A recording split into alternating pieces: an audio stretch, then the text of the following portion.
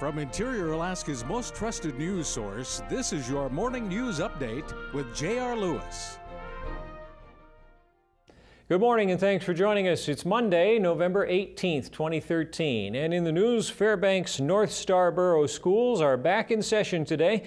School was canceled for three days last week due to hazardous conditions, power outages, and concern over staff shortages in teaching and food service.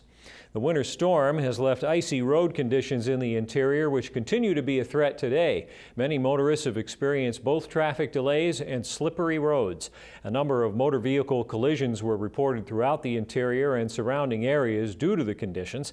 Fairbanks Police Department asked the drivers use caution as the ice from the recent storm remains on the roads under the layer of new snow.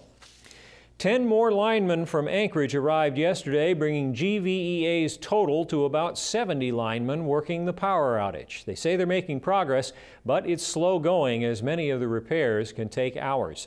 According to GVEA.com, a number of their members have been without power for days. Anyone in need of assistance due to the storm, shelter, pet boarding, showers, generator questions, and so on, can contact the American Red Cross at 451 8267.